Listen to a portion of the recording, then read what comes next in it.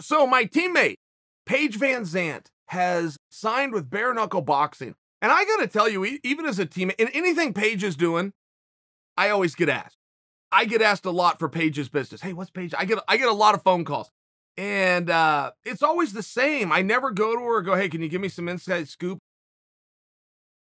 Bare knuckle boxing caught me off guard. And I knew that was in talks. As soon as Paige hit the market, there was other people in talks too, and a lot of people were very interested in getting the Paige business. Um, but I didn't know I didn't see it coming.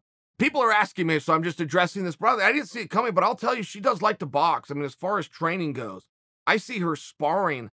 We we have an MMA gym, ATT, but that might be second. I mean, it is a jujitsu gym, and she spends a lot of time on grappling. I've probably seen her box more than anything else. She likes it. Like there's a spirit in her face, there's a spirit in her eyes.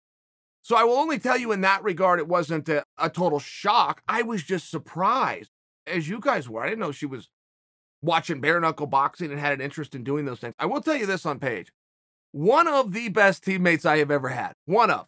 And I have to leave it at that. You start numbering your teammates, you can hurt somebody's feelings. But I'll just give you one quick Paige story, but it'll tell you everything you have to know about her as a teammate. Her first week at our gym, she comes in from California, her first week. Now, she's a new girl.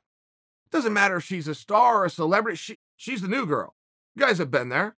That's not the world's easiest thing in any kind of environment, particularly when you are making a full fledged commitment. This could be your career. You got to spend a lot of time. You got to spend a lot of time with us and be the new girl. Within her first week, there was a King of the Cage, and it was over two hours away. Let's say she gets in on a Monday, Tuesday. This is going to be a Friday or Saturday. I mean, days after she arrives. She drives all the way down there, gets tickets, takes in the whole show. And some people were asking her, Hey, what are you doing? They're excited to see Paige. And her answer, as sincere and as, as blunt and direct as you could be, she said, I'm here to support my teammates. And that's the way she was. There was people fighting on that card who she had never met. There'd just be no there'd be no time. There would have been no time to meet. She just got there. And she, no, my teammates are fighting. I don't care how long the drive is. I don't care what I have to do. I'm going to support my teammates.